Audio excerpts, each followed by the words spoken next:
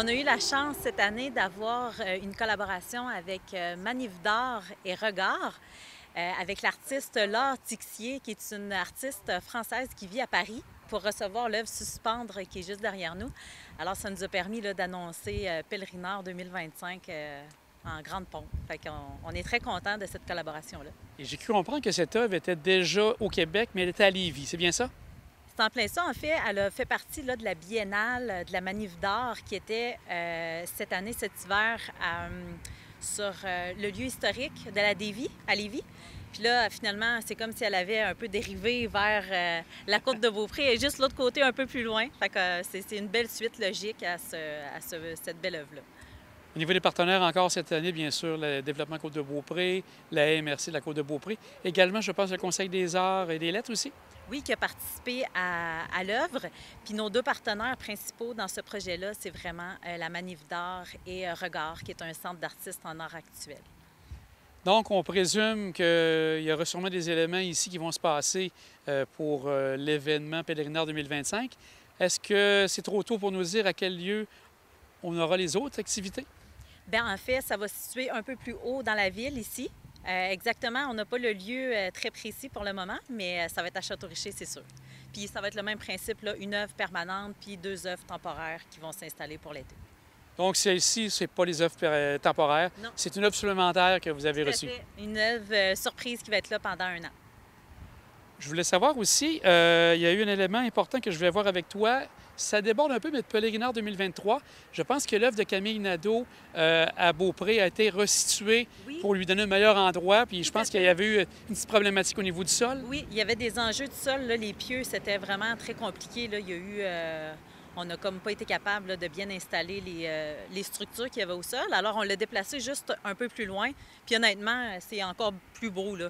Elle se distingue encore mieux. Elle a sa belle place juste à elle. Fait que c'est merveilleux comme ça. Je fais juste un petit retour avec 2025 pour Périnaire 2025. Euh, au niveau des annonces, ça va se faire cet automne pour euh, les différents éléments et les différents candidats? Cet automne, l'appel aux artistes va être lancé. Ça va être la même formule. Encore une fois, on va faire un appel à tous les artistes, à la fois de la Côte de Beaupré puis de l'ensemble du Québec, là, de partout. Euh, les artistes qui vont vouloir déposer soit à l'œuvre permanente ou l'œuvre temporaire pourront le faire au choix. J'avais pas d'un temps aussi avec toi parce qu'on n'en a pas parlé, mais en juin, ça a été quelque chose, une belle campagne pour euh, sensibiliser les gens ici à la Côte-de-Beaupré sur les immigrants, euh, sur l'immigration, sur les travailleurs étrangers. Euh, il y avait des partenaires qui étaient avec Développement Côte-de-Beaupré. Qui étaient ces partenaires? En fait, c'est un projet du ministère de l'Immigration et de la francisation du Québec avec euh, Développement Côte-de-Beaupré. En fait, c'est la MRC qui a d'abord euh, porté ce projet-là, mais on était comme mandataire de l'ensemble du projet. Puis on avait bien sûr le SANA, qui est le service d'accueil des nouveaux arrivants de la Côte-de-Beaupré, qui a travaillé ce beau projet-là avec nous. Euh, on est très fiers. Là, on a fait une série de trois petites vidéos qui montrent les bonnes pratiques en entreprise sur l'accueil des travailleurs étrangers. Ça a été une très belle collaboration. On est vraiment contents de, est-ce que tu peux rappeler les entreprises qui ont été visées par ces trois euh, vidéos? Oui, on a eu euh, IGA, on a eu Studio Medusa et euh, le restaurant Le Montagnet. Et les gens qui souhaitent voir la vidéo, c'est possible de le faire sur la page Facebook de Développement Côte de Beaupré? Oui, puis on a une page aussi YouTube Développement Côte de Beaupré où les trois vidéos sont disponibles. Donc, juste pour résumer, c'était pour bien sensibiliser aux gens à l'arrivée de ces nouveaux travailleurs étrangers?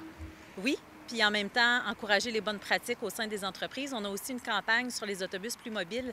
Nos, euh, nos belles diades, employeurs-employés, sont affichés sur euh, trois autobus de plus mobiles pendant euh, plusieurs mois.